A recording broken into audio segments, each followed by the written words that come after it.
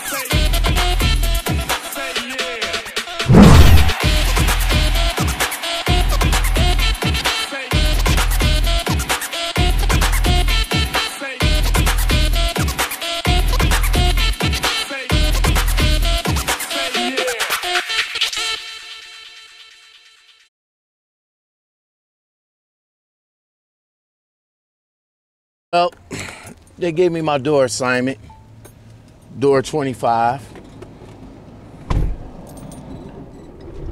So I got to do a lot of safety precautions. I got to slide my tandems.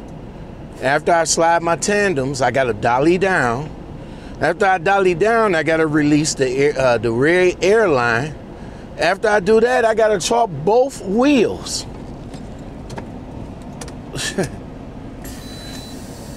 Crazy.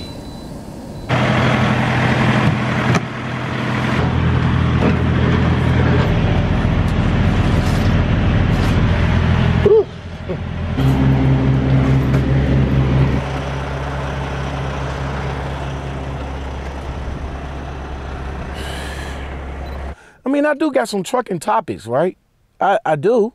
I do. I got I got some trucking topics for you guys. All right. So this one is FMCSA to drivers.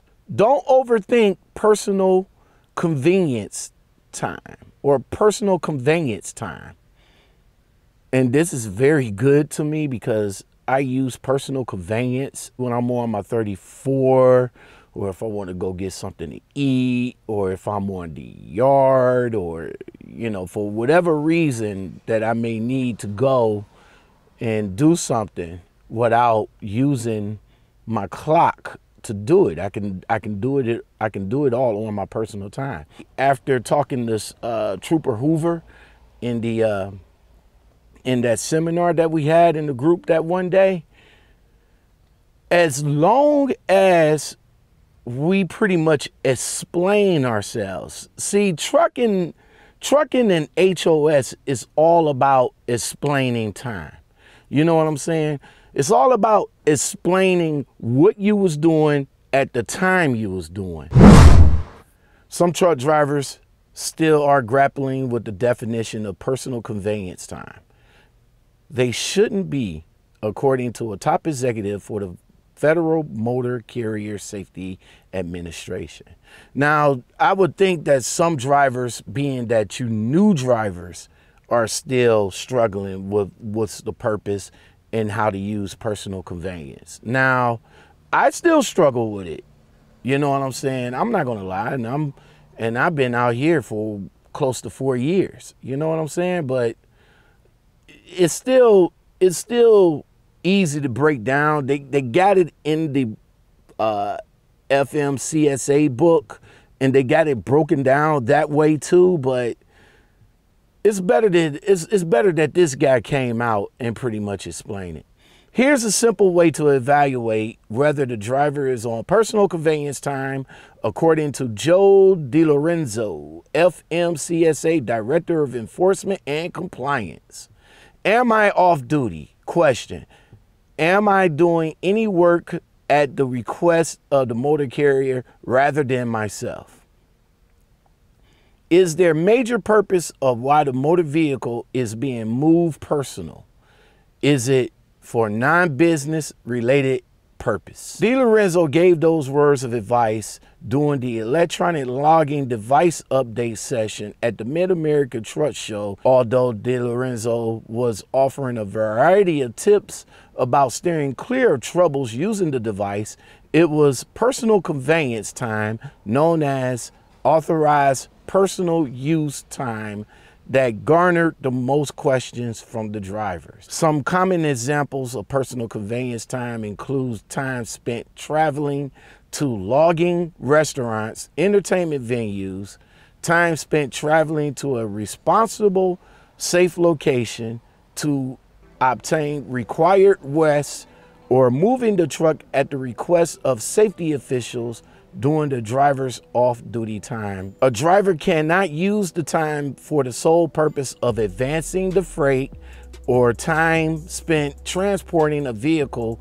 to a facility for maintenance. You can't use PC to make it to the um, make it to the uh, shipper and or receiver. So let's say like you only got five minutes to get there and you don't have the time to get there. You're supposed to shut down and then wait until after your 10 hour. But there's also exceptions to that rule as well. So let's find out. There are no specific time or distance limits for legitimate personal use movement of a commercial vehicle.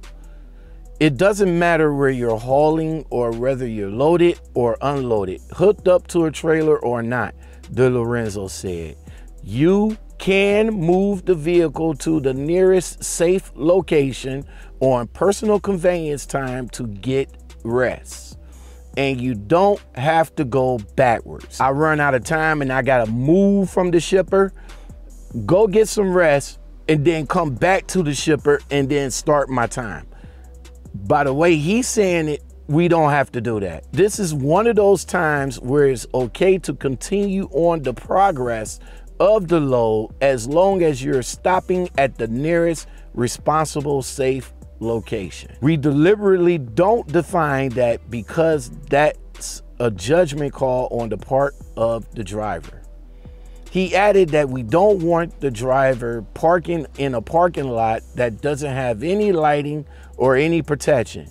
We don't want anybody parking on the side of the highway where it's unsafe. You can make the call. You so happen to run out of time and you're stuck in traffic or you run out of time where there's no adequate parking, then by the way he's saying it, we can continue to find adequate parking.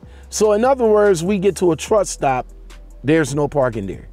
We get to another truck stop, there's no parking there. We can continue going on until we find a truck stop or a rest area to post up on personal conveyance. I'm not kidding. It's it's right here. It's it's right here. He says you make the call, by the way. When it comes to the use of ELDs, DiLorenzo said drivers foremost need to know whether they're using automatic onboard recording device or ELDs during roadside inspections. One of the most common violations regarding both ELDs and onboard recording devices involves drivers not knowing how to transfer data to the roadside inspector. For you new drivers, you should take the time to go over the Qualcomm. Let's go over that right now. All right, all right. So let's uh, let's take a look at this boy right here. So I was off duty for a total of 63 hours and 30 minutes. Damn it, man. That's how long I've been up here in New York, y'all.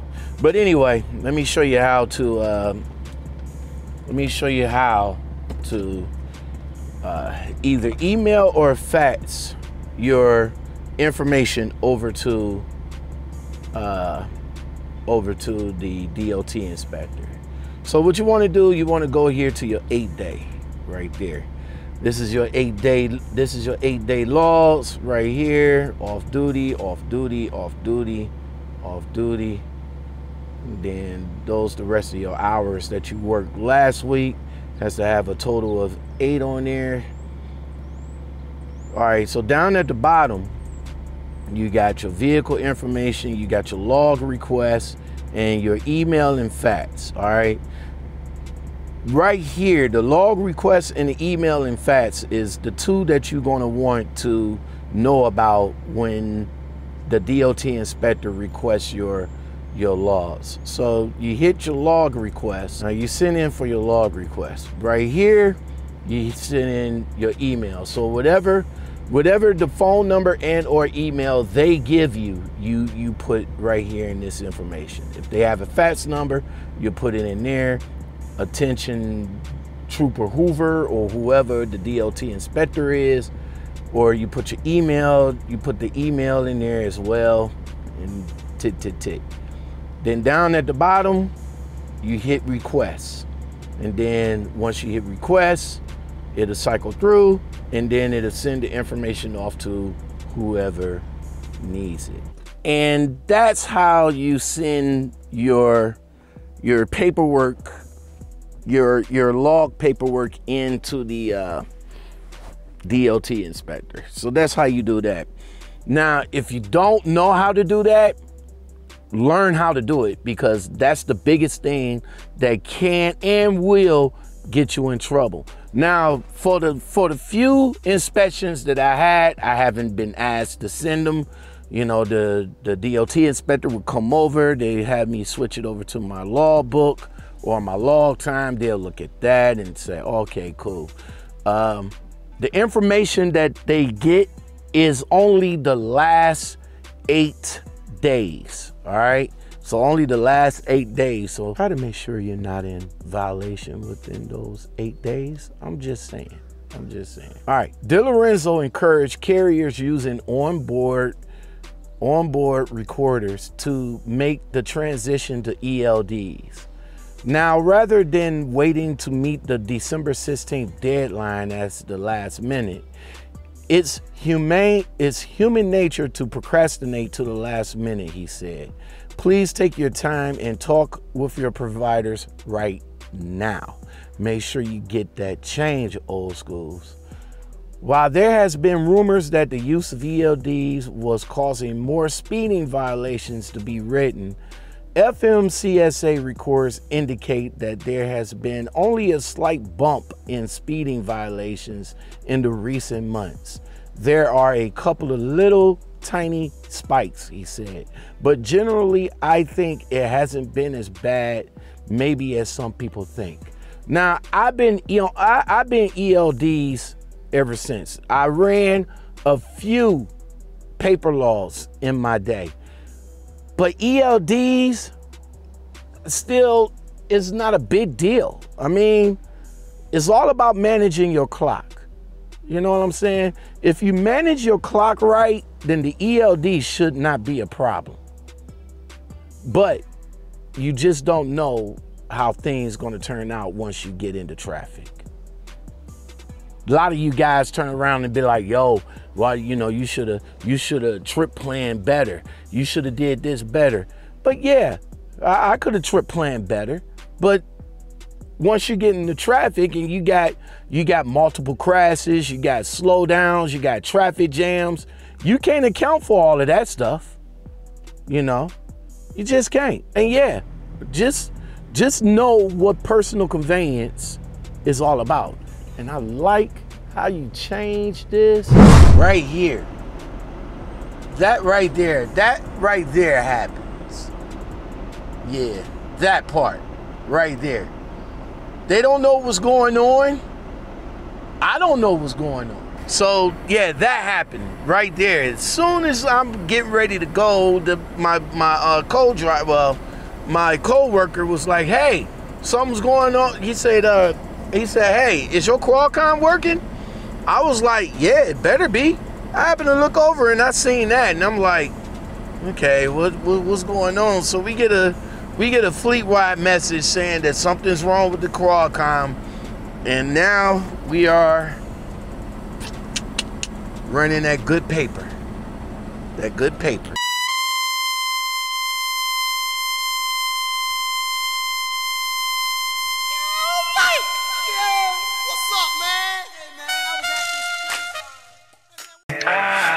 Once I'm gone, I ain't coming back.